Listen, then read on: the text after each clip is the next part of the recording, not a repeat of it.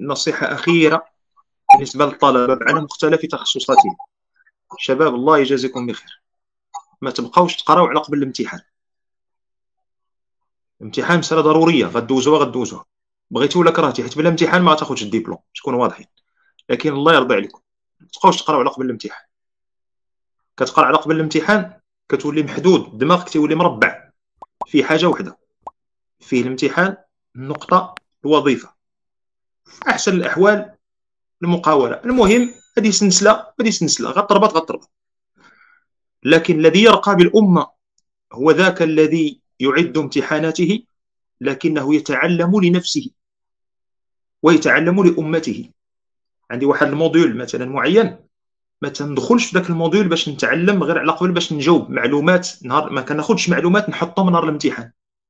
تناخذ معلومات يبداو يسريو ليا في الدم. اللي كيخلي الفرق ما بين طبيب وطبيب. راه قراو في نفس الكلية وداروا نفس التخصص إلا مشاو حتى la spécialité داروا نفس التخصص وقراو عند نفس الأساتذة. لكن هذا يبرز وهذا الحد الأدنى. فإحنا بغينا هذوك الذين يبرزون وبغيناهم يكونوا يستنيرون بنور الوحي. دخل في لي موديل اللي كتقرا فيهم دخل فيهم حتى العمق. حتى ما يبقى والو تتحفظ حتى ذاك الموديل ما يبقى عنده حتى شي سر مخبي عليك انت في شي قنت. من بعد يبداو يهضروا معاك مثلا على الموديل كذا ولا الموديل كذا كتصوروا بحال كيف كتشوف سوره الفاتحة. عارف الحمد في الأول عارف الضالين في الأخر عارف الوسطى شنو كاين عارف الجناب. وكذا عيش مع هذه المسائل.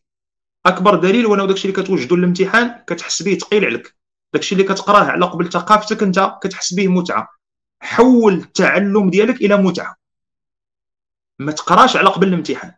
قرا على قبل التفوق والتميز. الامتحان جاي في الطريق. الامتحان تحت من التفوق. الامتحان تحت من التميز. مستوى الامتحان تحت من التميز. فلا قريتي على قبل التميز الامتحان دايز دايز بشريبة الماء. هذه نصيحة ذكر بها نفسي وإخواني من طلبه جزاهم الله خير.